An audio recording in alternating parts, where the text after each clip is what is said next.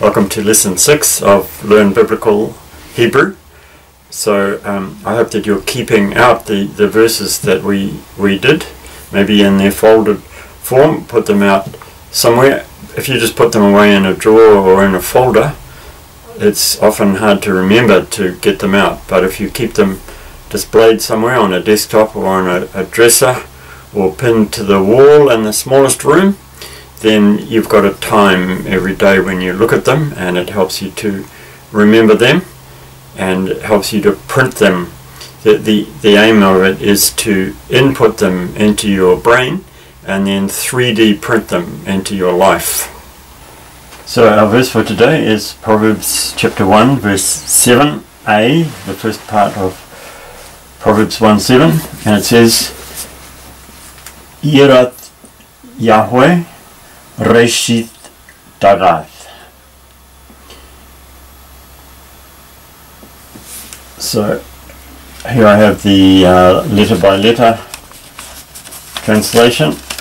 As always, I'm afraid I've got into a bit of a mess trying to put the consonants up here and the vowels down below as they are in Hebrew.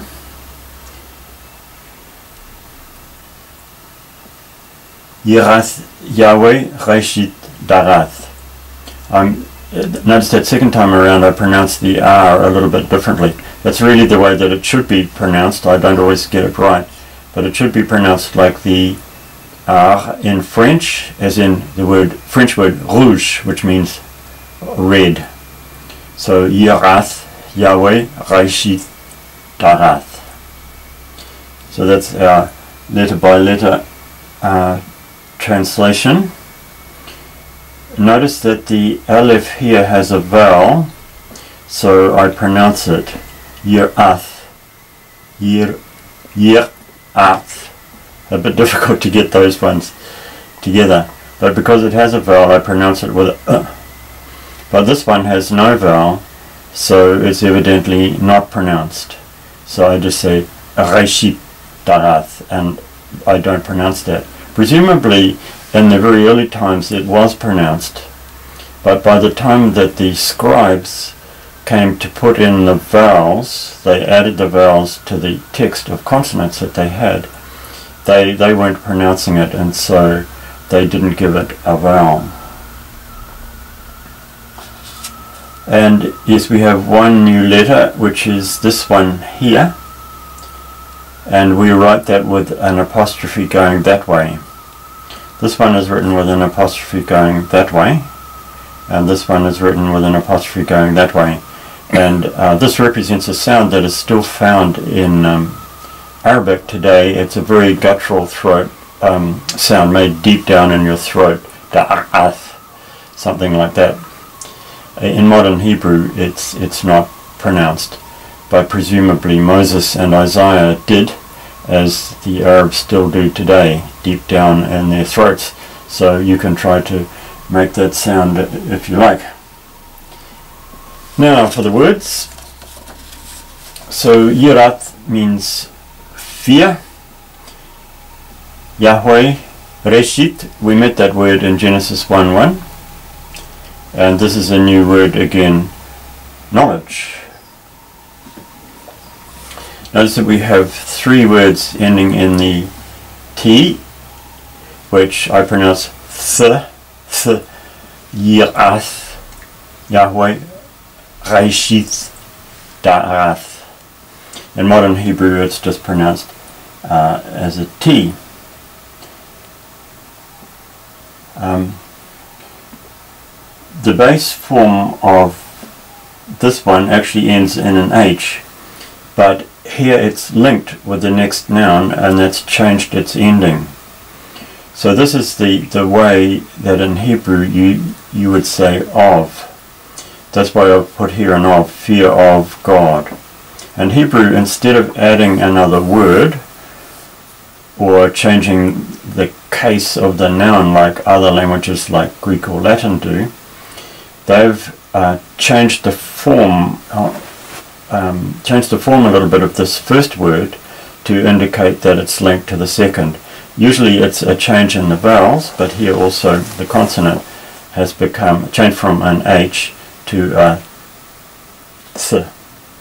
So that's why I've written fear of Yahweh. And the same thing here, beginning of knowledge. That's those are linked in the same way.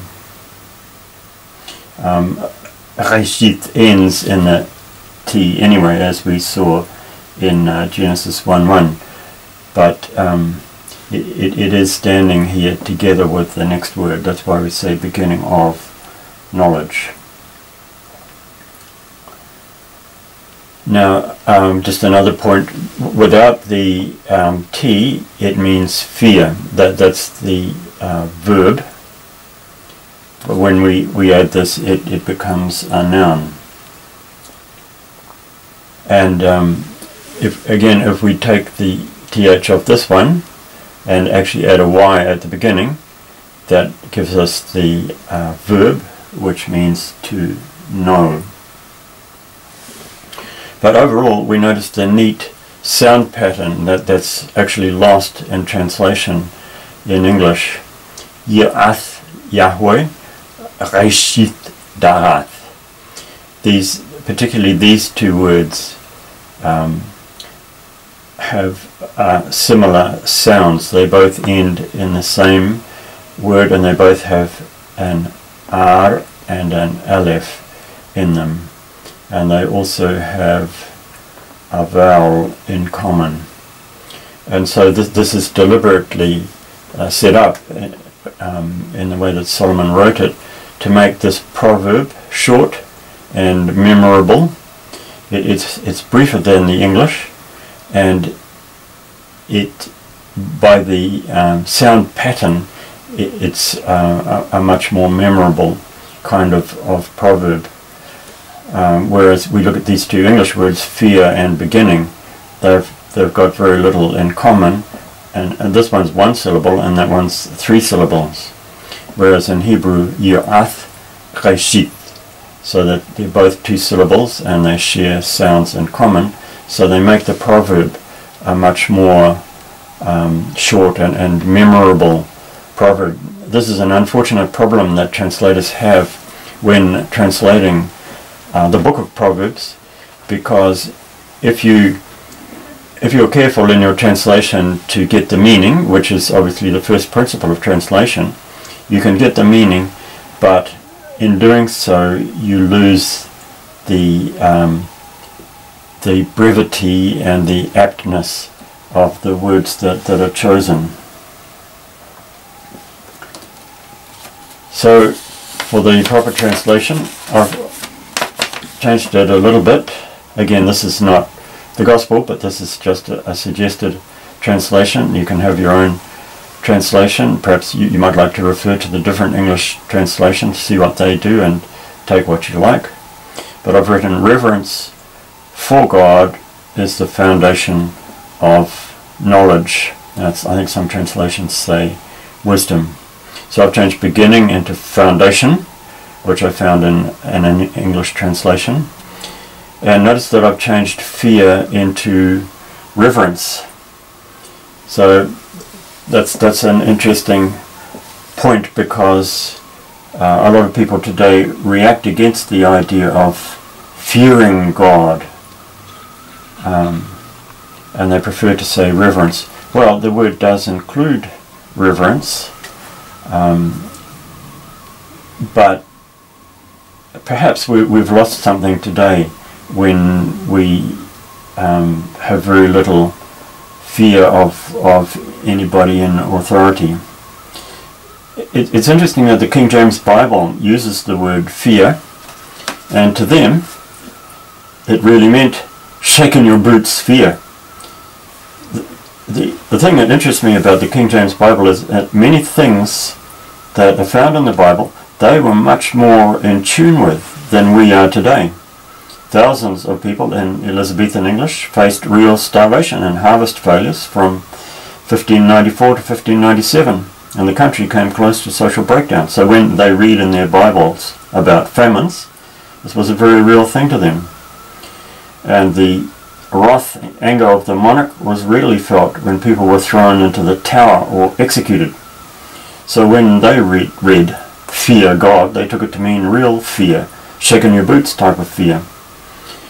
So very, very different society, uh, very different uh, conditions of life in those times, and in many ways much closer to, to Bible times than our modern Western culture is today. But um, despite that, I, I, think we can say that, that reverence, respect uh, are certainly included, and a fear that regards God as a vengeful tyrant, the likes of which we still see in North Korea, is certainly misplaced. So here we have it. Yerath Yahweh Reshit Darai.